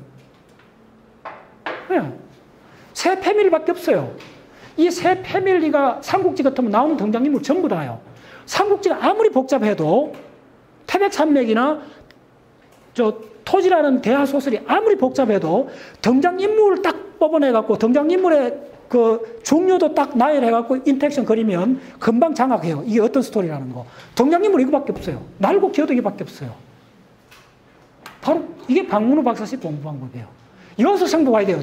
더 나가면 안 돼요. 나가도 헷갈리면 다시 돌아와야 돼요. 그래서 나는 이걸, 이걸 언제, 이거, 이걸 하는데 조금만 중간에 헷갈려버리면 다 무너져 버려요. 이게 안 헷갈릴 정도로 박아져 있으면 그게 한 일주일 했더니 박아졌어. 그럼 탁 하면 아, 그 계보. 그러니까 야는 어떤 성질을 가질 거라는 탁 느낌이 와. 야들 바로 이웃 사촌이야. 친해질 수밖에 없어. 근데 왜 이쪽에 전문가들이 왜 T세포에 더 주목을 하느냐? 야가 만드는 걸 항체라 그래. 안티바디라는데 우리 인류가 지금 기다리는 거는 야가 만드는 부산물이요. 근데 야가 만드는 부산물이 나오려면 전제 조건이 너무 많아. 이걸 알기 전에는 이 항체라가 도대체 뭔지 개념을 못 잡아요. 야는 그냥 부산물이 어떤 측면에서 보면. 진짜 주인공은 야요. 그리고 야요. 드디어 야가 모든 걸 통합을 하고 이거 야는 지금부터 사단장급이요. 저 일선에 나가고 만 명석 지휘하는 사단, 사단장이고 야는 통합지휘자예요. 예, 그래서 이제 드디어 요쯤 되면 T셀에 들어갈 수 있어요. 자, 요, 요 사건 내가 봤을 때 내가 뽑아내는 건데 면역학을 이해하는 다섯 개 사건 중에 자, 마지막 다섯 번째가 바로 뭐냐 하면 바로 예, T셀의 등장입니다. 덴드리틱 셀이 드디어 이거는 노벨상을 받게 돼요. 그럼 감 잡아야 돼요. 저는 그 자연과학을 공부할 때 아주 간단한 방법은 노벨상을 그냥 주는 거 아닙니다. 그 발견이 인류 전체에 엄청난 영향을 끼쳐야 노벨상을 주거든요. 간단히 말씀드리면 그것도 과학적이고 증명됐고 그러니까 이건 아택이 안전해요. 이게 2011년 노벨상을 받았어요. 그럼 게임 끝 상황이 어떻게 되는지 금방 감 잡아요. 덴트릭 셀 이거 완전히 조사해야 돼요. 그래서 지난 3일 동안 어떻게 시간이 간 줄 몰라요. 나는. 최근 한 10년 사이에 그만큼 시간이 어떻게 가는지 모르고 살았는 한 주였어요. 한 번도 공부해보지 않는 분야를 들어가서 4시간짜리 강의를 해야 되니까요. 그래서 일단 내가 하는 방식은 예, 뭐, 모르는 모든 자료를 다 찾아낸다. 그래서 이틀 만에 자료를 2천장 찾았어요. 그래갖고 우리 딱 해갖고 자료 다 정리 다 끝났어요. 2천장 앞으로 보려면 한, 한, 한 20일 더 봐야 돼요. 자료 다 찾아놨는데 자료 찾았는 것만 판도만 봐도 아하 이쪽 게임이 지금 이렇게 벌어지고 있구나 알았어요. 첫 번째 등장 인물이 아 야가 핵심이었구나. 야하고 D셀하고 덴드릭 셀하고 T셀만 알면 작업에 들어갈 수 있겠구나 하는 걸 딱 감잡았어요. 자, T셀. 자, T셀 들어갑니다. T셀. 아, T셀. 네. 자, T셀은 모든 걸 분류입니다. 분류. 언어학입니다. 네. 자, 독일말을 배운다 생각하시면 돼요. T셀은, T셀은 어떻게 되냐 하면, 먼저 T셀의 분류에, 아, 자, T셀을 요거 쓸까? 어. 네, 좋아요. T, T셀의 분류가 핵심입니다. T셀은 크게 두 가지가 있어요. 알파, 베타, 어. 알파, 베타 T셀하고 감마, 델타 T셀 두 종류가 있어요. 크게, 가장 큰 분류는. 네. 자, T셀. 네, T셀이, 그러니까 항상 좀 면역을 뭐, 뭐, 그 많은 T셀 중에 무슨 T셀을 이야기하는가가 알면 이제 어느 중간까지 들어가는 거예요. T셀은 크게 가장 간단한 걸로 두 개로 분류할 수 있습니다. T셀은 세포입니다. 그리고 하나하나 붙는 요 이름들이 중요해요. T셀이요. 어, 바로 이 셀이 이 셀. 이 셀 간단히 T라 적었는데 어떻게 되는가 보여드릴게요. 첫 번째 알파, 베타 T셀이 있어요. 그럼 두 번째 감마, 감마, 델타 T셀이 있어요. 감마, 델타 T셀 어디 있냐면 소장, 소장벽에 있습니다. 창자에 있어요, 주로. 감마 델타 뭐야? 감마 델타 T가 최근에 많이 이야기되고 있습니다. 감마 델타 T 두 개를 일단 구분해요. 자 메인은 지금까지 많이 이야기했던 알파 베타 T입니다. 또 이것도 안 해봤습니다. 알파 베타 T 셀은 일단 네 개의 기능으로 나눠집니다. 네 가지가 있어요. 자, 맨 첫 번에 뭐냐면 남을 도와주는 헬퍼러 TC가 있어요. 그러니까 T셀인데 요 붙는 약자의 모든 의미가 달려 있습니다. 앞으로 요 학술적 TH라 적습니다. 요거는 헬퍼, 헬퍼 도와준다는 말이에요. 남한테 도와주는 거예요. 두 번째 T가 뭐냐면 두 번째 이, 이 셀들이 진짜 대단해요. T셀을 막 보고 났더니 막 예. 전체 윤곽이 보이는 게 그 기분을 참 말로 표현하기 어려워요. 두 번째 T가 누구냐 하면, 예, 야는, 야가 바로 전투가 일어나면, 예, 주력 부대 중에 한 명입니다. 야가 바로 사이토톡식 T셀이요. 그래서 내가 약자로 요거는 C라 적으면 돼요. 요 세포입니다. 요 세포. 저격범으로 나가는, 예, 전투에 직접 참가하는 셀이요. 예, 야는 구멍을 뚫어요. 예, 박테리아에 구멍을 뚫는 거예요. 세 번째 TC가 뭐냐 하면 요게 이제 어렵습니다. 요세 번째 T가 바로 T, I, 요거는 뭐냐면 Treg라는 세포요. 어, regulatory 그러니까 억제성 T 세포입니다. I는 induced란 말이고 자 요거는 어디서 나오느냐 하면 요것서 나옵니다. 요거 tolerance 이해하시려면 야가 필요해요. 자, 그 다음에 네 번째는 사실은 NK셀도 내추럴 킬러 세포도 T세포 계열입니다. 요것서 갈라지죠. 그거 알잖아. 요 사촌이었잖아. 형제, 형제. 네, 그렇게 되는 거예요. 그래, 요거만 암기 하시면 면접학 시작할 수 있어요. 이거 암기 안 하면 면접학 하면 할수록 헷갈려요. 네, 그렇게 돼 있어요. 됐죠? 자, 그래서 끝나는 게 아니고, 자, 메인, 그러니까 이게 T, T세포가 면역의 통합자라고 불렀던 거는 누구 때문에 그러냐면 바로 야 때문에 그래요. 야가 또 네 개가 있어요. 이제, 이제 이제 한바다 돌았습니다. 야가 네 개가 있어요. 야 네 개가 재밌는 게 야가 직접 피를 흘리지 않아요.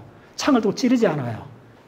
근데 야가 다 부축해줘요. 액티베이션 시켜줘요. 야의 액티베이션 받아야만이 이 특공대들이 나가요. 그런 구조로 돼 있어요.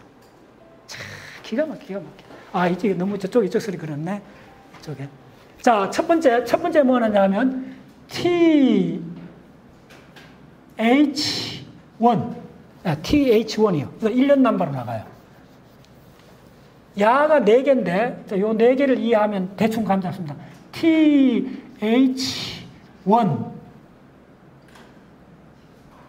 TH2 아, 그럼 TH3에 당연히 no 그렇게 안 나가요. 이게 또 재밌어요. 뚝 띄어갖고 어떻게 나오면 TH17 17이요. 네. 그 다음에 네 번째 야가 누구냐면 네 번째 야가 이제 예, 이름이 뭐냐면 T F H요. 자, 요 F는 어디서 나왔냐 하면 F는 이 F는 어디서 왔나 하면 요게 어렵습니다. 요 F는 아, 뭐서 F O L L I C L E 요게 어려운 단어예요. 어렵게 인 사람 아니면 몰라요. 폴리 폴리컬이라는데 요게 요 앞에다 헤어 폴리컬이란 무슨 모낭이란 말입니다. 쪼매는 주머니란 말이요. 여포라고 우리나라를 번역하는데 이게 난소에도 있고 뭐 여러 군데 있어 갖고 이게 일반적으로 많이 쓰는 말이에요. 찾아보면 요 F인데 자 연필 손 넣고 숨 죽이고 TFH의 옥동자를 뭐라 그러냐면 그걸 항체라 그래요. 이제 이제 항체가 나타나요.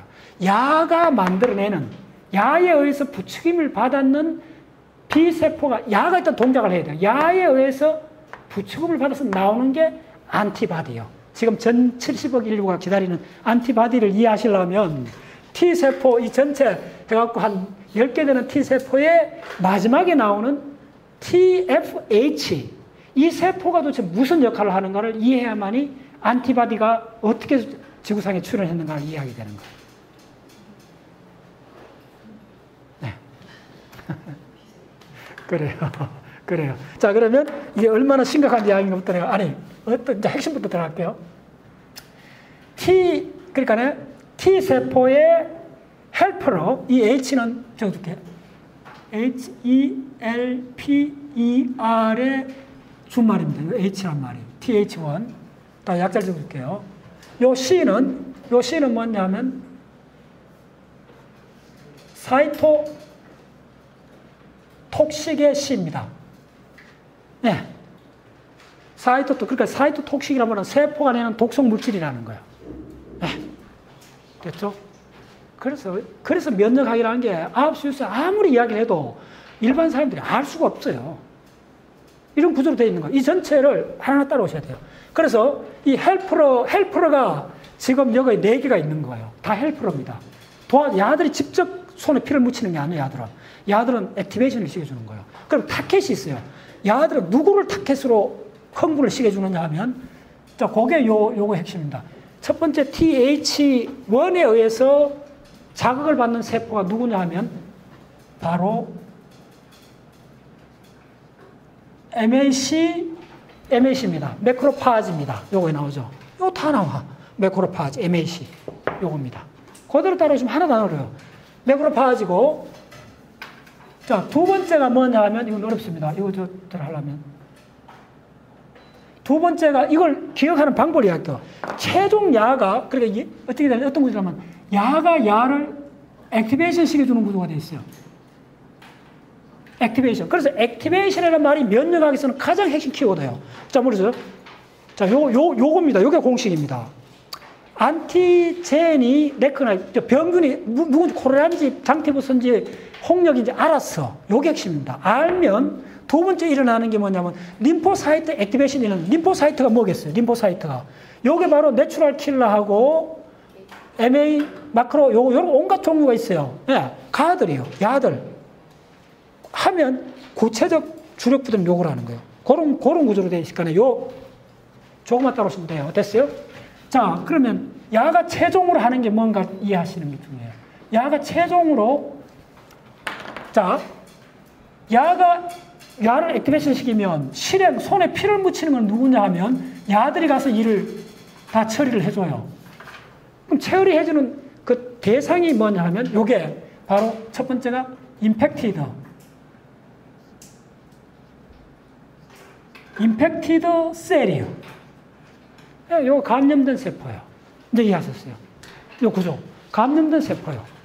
자, 감염됐다는 말이 굉장히 심한데, 가, 요, 감염됐다는 말은, 자, 요 전체 세, 면역학에서 중요한 개념 중에 하나가 뭐냐면, 자, 바이러스든, 자, 안티겐이 들어왔어요. 우리 몸 이물질이 들어왔어요. 들어오면 야들이 존재할 수 있는 양태가 두 가지요.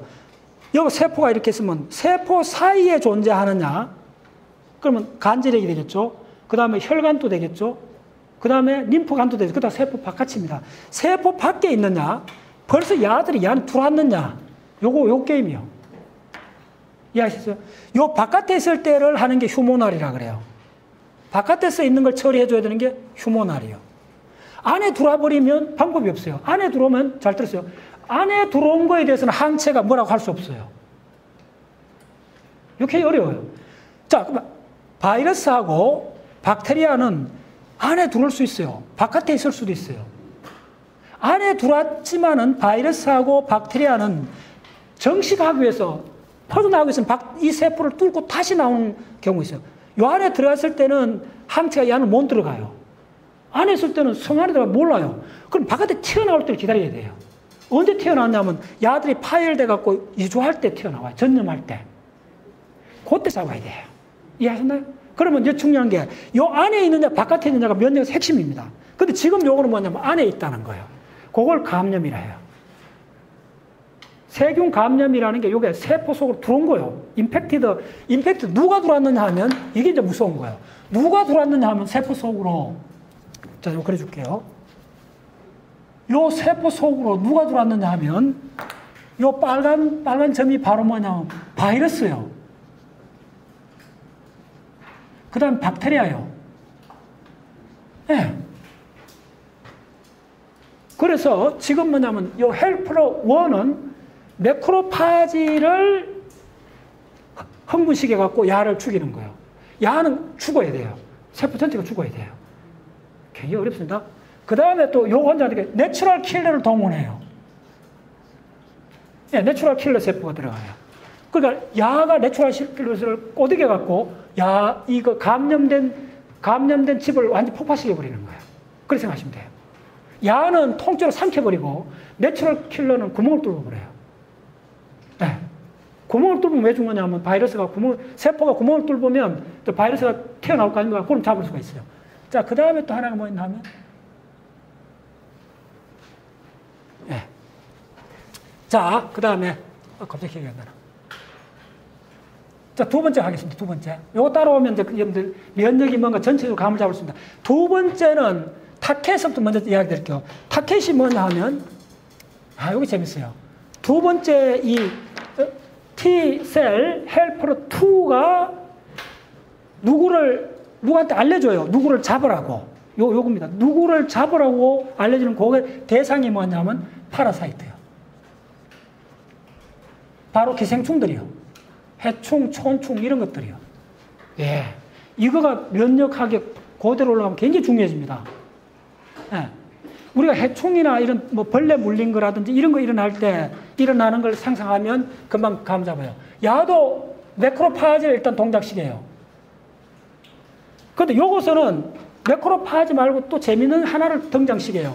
뭘 등장시키느냐 하면 마스터셀을 등장시켜요. 자, 마스터셀 어디 나왔나요? 아, 요거 빠뜨렸구나. 요거 빠뜨렸다. 자, 마스터셀은 바로 요겁니다. 마스셀은 요거의 언론에서 나와요. 언론, 그리고 이걸 잠깐 내가 잠깐 했는데, 언론에서 나오는 게 마스터셀입니다. 요, 요런 완성됐어. 됐어. 뭐가 빠진지 알았어. 요게 마스터셀입니다. 마스터셀은, 마스터셀은 뭘 분비하느냐 하면, 이건 뭘 분비합니다. 야가 바로 히스타민을 분비해요.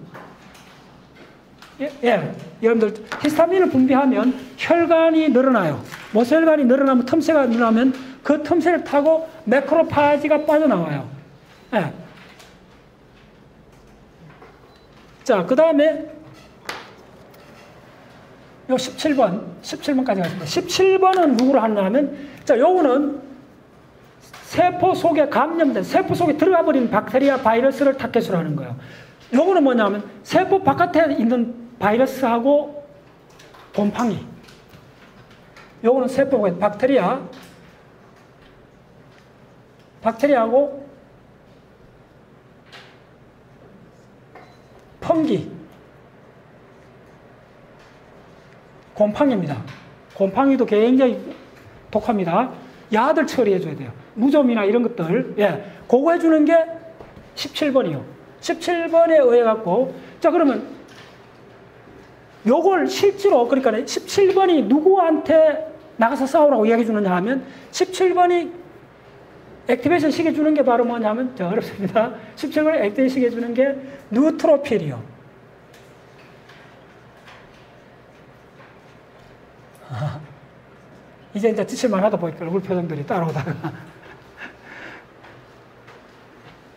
17번이 neutrophil이요.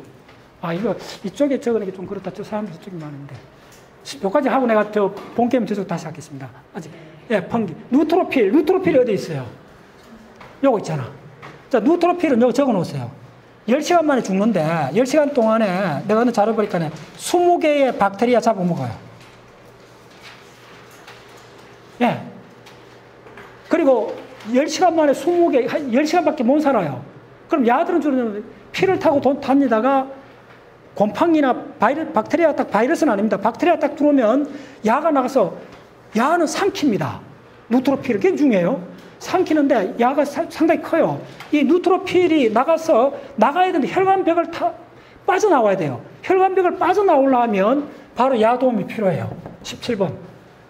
그래서 이 혈관벽을 빠져나올 때 어떤 세포한테 영향을 미쳐야 되느냐 하면 바로 에피세리얼 셀한테 영향을 미쳐야 돼요. 이제 막 흑될 거예요. 요거다 내가 옛날에 지웠는데 요 에피세리알 셀 뭐자고 네 개 정리해 준 거 있어요. 그러니까 제가 하는 강의는 예습 특히 복습을 안 하면 안 돼요. 전 시간에 했던 걸 반드시 다 암기한다는 전제하에 강의가 진행되는 거예요.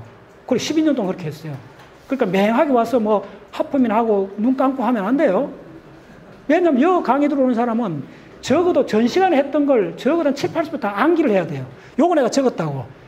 기억납니까? epithelial, endothelial, basement membrane 굉장히 중요하다고 그랬죠. 바로 그거 나오는 모세혈관 벽을 구성하는 epithelial cell을 자극해야만이 모세혈관 구멍이 늘어나요. 그 구멍이 늘어나야만이 바로 요 셀이 빠져나와요. 빠져나와갖고 박테리아를 맹렬하게 죽이고 전사해요. 맹렬하게 죽이고 전사한 그게 뭐냐 하면 여기 나오는 고름입니다. 고름. 야가 죽었는 시체를 퍼스라 그래요. 고름이라 그래요.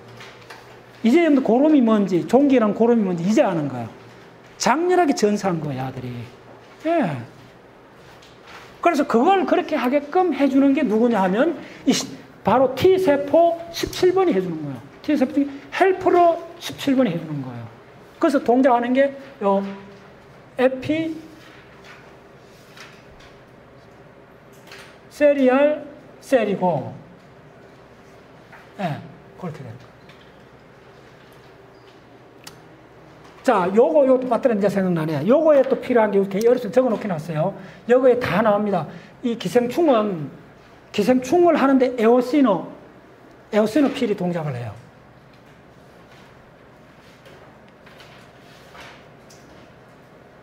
필, 그 다음 바소필이 동작해요. 다 나오죠, 다 나와. 예의 없이 다 등장했어요. 요 두 개는 기생충하고 관계 있어요. 기생충 뭐 요즘 없으니까 그렇죠. 그거 그리 생각하면 안 됩니다. 기생충 엄청납니다. 우리 인류를 얼마나 괴롭힌지 몰라요.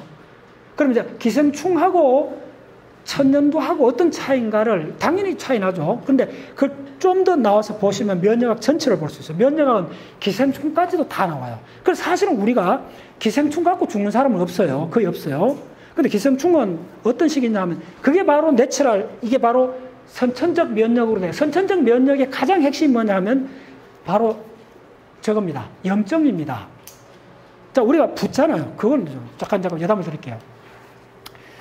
시간이 좀 있다면 내가 조선사, 조선 왕조 실록을 좀 공부해갖고 조선시대 왕들이 어떤 병을 앓았는가 그 이제 연구하는 사람들이 있던데 보니까 그것 좀 공부했으면 좋겠어.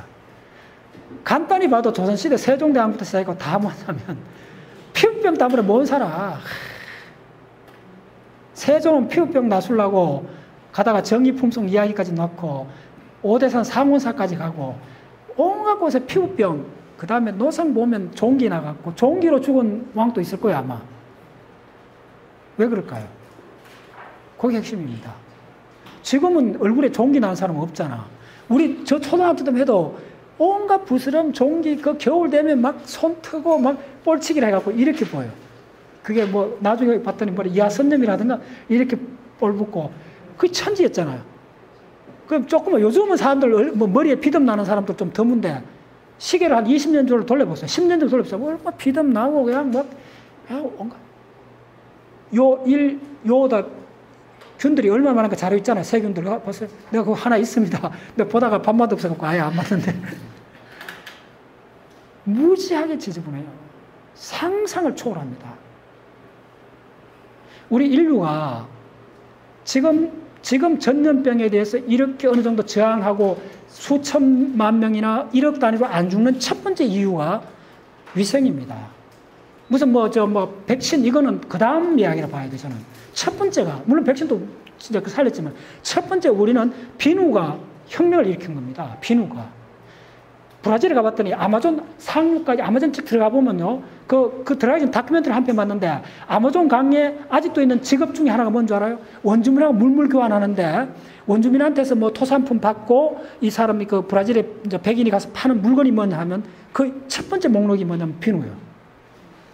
아마존 그 있는 오지에 있는 부지족조차도 비누의 혜택을 인정하는 거예요. 인류 문화에서 가장 핵심적인 중에 하나는 비누라 봐요. 요게, 요걸 다루는 그 책이 있어요. 내가 옛날에 번역된가, 그, 그, 서울대 주영재 교수님이 옛날에 강의할 때 그 책에 그분이 강조를 하시더라고. 그 전문가들끼리 이야기하는데 그 책 한 권으로 아주 세계적인 학자가 된 사람이 있대요. 그 책의 내용이 뭐냐면 이런 거예요. 중세시대 사람들이 살아가는 양태를 그러니까 위생 관점에서 분석한 책인데 그게 그 인류사에 굉장히 한 획을 끈 책이래요. 그 책에 이런 대목이 나온대요. 중세시대. 중세시대 아니고 한 뭐 그 최근까지입니다. 볼일을 볼때 지나가는 사람한테는 인사를 하지 마라. 이런 대목이 나온대요. 무슨 말인지 알겠어요? 이게 소변을 이야기하는 거 아닙니다. 상상되나요, 여러분들? 볼일을 볼 때 지나가는 사람한테 인사를 안, 안 하는 게 맞다. 이렇게 이야기돼 있대요. 그 책에 그렇게 나온대요, 옛날에. 이게 무슨 말이야? 여러분들 시계를 조금 돌려갖고 시골에 가면 옛날에 그러니까 한 5, 지금 한 6, 70년 에도 화장실에 한꺼번에 두세 명이 가서 볼일을 봤어요. 그런 게 있어요. 몽골 사람들은 어떻게 하는 줄 알아요? 그게 화장실입니다. 이렇게 딱 해놔놓고 이렇게 볼 보는 거예요, 남자들. 그보다 뭐냐면 밥을 먹을 때 가래를 뱉지 말라는 문장이 나온대요. 일반적으로 그렇게 했다는 거예요. 밥을 먹으면 사람들 가래를 뱉었다는 거예요. 상상할 수 있나요? 지금 그 저 뭐 위생고고학이라는 분야가 생겼습니다. 위생고고학이 뭘 하느냐면요. 서울 시내 이렇게 개발할 때 그 토양을 분석을 하는 거예요. 분석을 하면 그러니까 100년도 안 됐어요. 서울에 상하수, 하수도가 이렇게 완전히 정비 안 됐을 때 토양에 그, 저 뭡니까, 기생충 알들이 다 나와요. 엄청나다는 거예요. 예. 그러니까 뭐냐면 이쪽에 무슨 그, 이렇게 피부병으로 다 죽는 거예요. 좀 가정에서 이야기하면. 면역하면 그것부터 시작해야 돼요. 그게 본질이에요. 우리가 지금 대부분 사람들이 뼈얀 피부나 저, 저 얼굴에 나이가 들어도 뭐 안 생기고 이렇게 하는 거는 기적 같은 거예요. 첫 번째 비누, 그 다음에 하수도 씻어요. 예. 지난번에 어느 책을 읽었는데 그런 내용이 나오더라. 어느 어떤 오지 아프리카 나라에다가 막 돈을 막 줬는데 뭐 시설 그래 집을 막 지어줬다는 거야. 집을 지어줘갖고 살 수 있도록 해줬는데 우물까지 만들어주고 다 했어요. 했는데 그게 안 된다는 거야. 왜안 되니까 하수도 시설이 안, 안 되니까 그 집이 집을 빌딩으로 아무리 잘 지어준들 한 달 후면 그냥 똥통이 돼버리는데 이해하셨나요? 네. 그래서 어떤 걸 보실 때는 입체적으로 보셔야 돼요.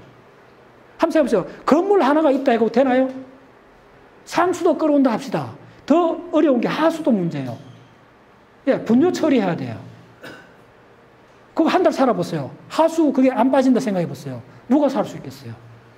인류가 그걸 지금 갖춰진 그 단계가 됐기 때문에 지금 우리가 이 면역이 전 지구적으로 뭔가 되는 거예요. 면역의 핵심은 나는 그런 문제라 봐요. 더 근본적으로. 지금 와서 지금 이 역사를 보면 백신이 나오고 이거는 기적 같은 일이요. 진짜 놀라운 거예요. 그런 거예요.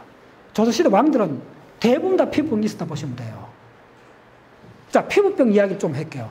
지금 우리 사회 피부병 거의 없잖아요. 알레르기, 요거는 좀 다른 문제예요. 요것도 면역의 일부인데, 그거는 뭐 내가 다음 시간에 터치할 수 있는 더큰 영역이요. 피부병이 지금 거의, 거의 없어졌잖아요, 사실은. 기생충 같은 거. 저, 저, 고등학교까지 기생충 검사했잖아요. 아직도 기억나요, 고등학교 때. 기생충 검사해갖고, 여러분들 대변 검사 다 했잖아요. 그 과정을 대한민국은 그나마 철저했기 때문에 지금 어른들은 아마 거의 대부분 기생, 해충이 없어, 구체적으로 해충이 없어졌잖아요. 예. 해충알이 어떻게 되는 줄 알아요? 해충은, 이 창자에 있던 해충은 유충일 때 창자벽을 뚫고 들어갑니다. 들어가서 폐까지 올라갑니다. 다시 늘어와요, 이게. 촌충 사진 같은 거 한번 보세요. 예. 우리가 잊어버리면 안 돼요. 진짜 이 면역학 이런 다시 보면 우리 인류가 진짜 그것을 벗어난 지 진짜 얼마 안 됐구나. 그걸 알게 돼요. 예, 그런 관점 조금 더 보셔요, 여러분들. 그래서 이거는 인문학에 관한 문제도 될 수가 있어요. 역사에 관한 문제도 될 수 있어요. 오케이. 자, 그거, 이제 그, 여기서 내가 강조하고 싶은 거는 인류는, 우리 인간은 알았다는 거예요. 첫 번째 뭘 알았냐 하면, antigen이 뭔지 알았다는 거예요. 들어온 이물질의 정체를 정확히 알았다는 거예요. 그거 알게 된 게 100년도 안 됐다는 거예요. 내가 이거 적어주는 게. 아시겠어요? 100년도 안 됐다는 거예요. 오케이. 자, 됐습니다. 자, 시간 어땠습니까? 자, 여기까지 왔습니다. 자, 그래서 neutrophil, 이거 다 그만큼 중요하다는 거예요. 자, 요게 뭐냐 하면, 폴리시칼 헬프로 T셀이, 폴리시칼 헬프로 T셀이, 야, 폴리, political, 이거 아닙니다. 폴리시칼, 폴리칼, 폴리칼 헬프로 T셀이 뭘 하느냐 하면, B셀을 B셀을 액티베이션 시켜요. B셀을. 이제 드디어 B셀이 나와요. 참 놀라워. B셀이 나오고 이 B셀이 나오면 B셀은 두 가지로 분화한다는 거예요. 그래서 첫 번째 뭐냐 하면 메모리 B셀이 돼요. 메모리 B셀이 되고 하나는 플라즈마 플라스마 셀이 돼요. 자, 잘 들었어요? 이 메모리 B셀이 되는 걸 바로 후천적 acquired immunity를 획득했다 그래요. 이걸 후천적 면역이 생겼다 그러는 거예요. 그걸. 그걸 정확히 후천적 면역이 생겼다 그래요. 이걸 acquired. 그 다음에 plasma cell이 생겼으면 plasma cell은 바로 요게 바로 뭐냐면 antibody예요. 이제 여러분들 antibody 말이 등장한 거예요. 지금까지. 요때 올 때까지 안티바디란 말이 등장하지 않았던 거예요. 자, 여러분 항체. 초미의 관심이잖아요. 전, 전 70억 인류가 코로나19의 항체를 기다리고 있는데 그 항체를 이해하려면 TFH를 이해해야 되고 TFH를 이해하려면 TH를 이해해야 되고 이걸 이해해야 되고 T셀을 이해해야 돼요. 네. 그래서 어, 여기까지 했던 건데 뒤에가 등장. 뒤에는 아직 T셀은 등장하지 않았습니다. T셀하고 이 전체 과정이 어떻게 되는가를 잠깐 하겠습니다. 그 마무리하기 전에 조금 어렵습니다. 보면 이제 이 전체가 한번 감상해 보세요. 우리 오는 모든 이물질에 대해서 다 방하게 돼 있다는 거예요. 첫 번째 보세요. 바이러스 박테리아인데 잡아먹힌 집 속에 들어간 거예요. 세포 속에 들어간 거. 이거 어쩔 수 없다고. 야를 죽여야 돼요, 세포를. 요게 감염된 세포고, 감염된 세포를 죽이는 게 바로 TC였잖아요. 직접 죽이는 거. TC하고 NK. 그 다음에 TH2는 누구를 activation 시키냐면, macro mast cell. 자, 요거 이야기하다 그랬어요. 요거 보세요. 기생충인데, 요, 요, 요게, 요 mast cell하고 관련되는 생리적 현상이 뭐냐 하면 요게 바로 inflammation입니다. 인플라 inflammation이에요. inflammation이 뭐죠? 이게 바로 염증이에요. 염증 반응이라고 그러죠. 염증이라면 염증 반응입니다. 염증 반응은 지금 현대의학에서 핵심입니다. 염증 반응이 간단히 고름이 생기는 거야. 부어오르는 거 첫 번째. 자, 이게 어디하고 관계있나? 우리가 언제 부어오르죠? 모기에 물리면 부어오르잖아. 벌에 쏘면 부어오르잖아. 이게 염증 반응이에요. 부어오르다는 말이 뭐냐 하면 그 주에 있는 모세혈관이 늘 굵어졌다는 거예요. 굵어, 굵어, 모세혈관이 늘어나면서 모세혈관 세포와 세포 사이가 틈새가 벌어지면서 이 속에 있던 많은 세, 그 자살 특공대들이 빠져나오는 거예요. 매크로파지, 그 다음에 NK셀이 빠져나오는 거예요. 매크, 특히 매크로파지하고 누구냐 하면 정하게 돼요. 매크로파지하고 빠져나오는 게 아니 매크로파지가 빠져나오는 게 아니고 모노사이트가 빠져나오면 매크로파지가 되는 거예요. 그 다음에 야들이 빠져나갈 나가는 거예요. 적어줄게요. 이게 어떤 사건이냐 하면 매크로파지가 모세혈관 벽을 빠져나오는데 시간 따지고 있대요. 저 빨리 하겠습니다. 매크로파지가 이제 모세혈관이 이렇게 돼 있어요. 자, 여기 모세혈관 같으면 지금 뭐냐면 이 굉장히 복잡한 과정을 거쳐서 TH2의 동작에 의해서 요 모세 혈관 요게 요게 늘어나는 거예요. 늘어나면 요걸 타고 모노 모노사이트가 빠져나와요 이렇게. 빠져나오면 그 다음에 이게 대식 세포가 되는 거예요 이렇게. 요거 빠져나오는데 1분 걸려요 1분 1분이라면 얼마나 긴 시간이냐면 이쪽 관점은 야가 빠져나온 야가 매크로파지가 박테리아를 덮쳐갖고 박테리아를 삼키는 데까지 들어는 시간이 빠를 경우는 얼마냐면요. 10, 그러니까 100, 0.01초 만에 삼켜버려요. 얼마나 무서워요. 이렇게 빠른, 빠른 친구예요. 근데 빠져나오는 시간은 1분 걸린다는 거예요. 그 말은 뭐냐면 이 프로세스의 바틀렉이 모세혈관벽을 빨리 팽창시켜 주고 구멍을 만들어 줘야 돼요. 빠져나갈 틈을. 1분 걸리, 이거 넣어주면 안 된다고. 그럼 누가 이걸, 이걸 해 주는 이게, 이게 뭐냐 하면 바로 마스터 셀이요. 마스터 셀에서 뭐가 있냐면 히스타민이 나와요. 그 다음에 헤파린. 헤파린이 분비돼요. 야들이 뭐냐면 혈관벽을, 혈관벽을 확장시켜줘요. 확장. 혈관벽을 확장시켜줘야 야들이 빠져나오는 거예요. 빠져나가고 조직으로 가갖고 그 세포 부근에 있는 예, 박테리아들을 죽이는 거예요. 그래요. 예. 그래서 이쪽에서 가장 중요한 거는 지금, 어, 요 개념이 요 개념. 그래서 지금, 자, 그래서 마무리 하겠습니다. 이렇게 가려운 데는 반드시 끌고요. 왜 끌을까요? 간단해요. 아직 벌레가 이 부근에 있을 수 있어요. 모기가 이 부근에 있을 수 있어요. 그래서 탁 때리고 끓는 거예요. 근데 물린 데는 반드시 부어오르잖아요. 그게 바로 염증 반응이에요.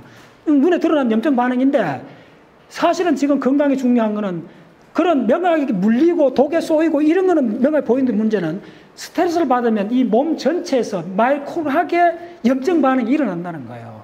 이게 또 노화의 주범 중에 하나예요. 이걸 안 보여. 전체에서.